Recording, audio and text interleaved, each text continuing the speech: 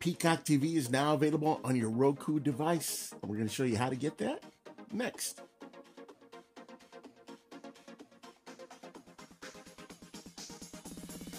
Bienvenidos, welcome to the Cord Cutters community. My name is Ray, and we are here to help you cut the cord and get rid of the high cost of cable, satellite TV, and get rid of those contracts. Those are the worst, right?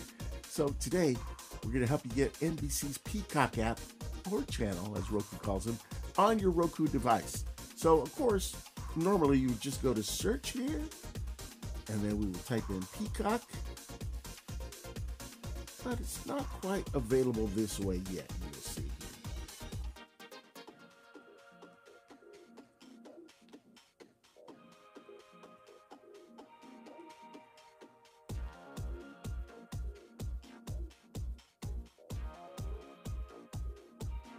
So the Peacock channel is not there. What it is is actually a show a Peacock or Peacock screensaver or something here from uh, 2010, which is a movie or something called Peacock.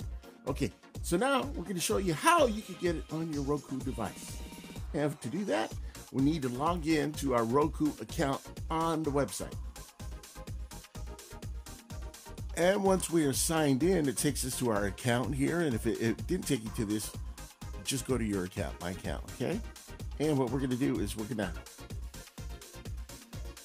add a channel with a code. Channel access code is Peacock. So type in Peacock and then add channel.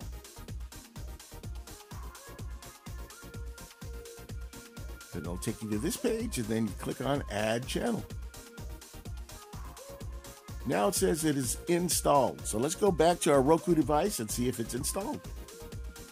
So now we go back to our Roku. And Peacock has been added. And I did restart my device, by the way. So if you're not seeing it right away, go ahead and restart your device. And there you go. Peacock TV on your Roku.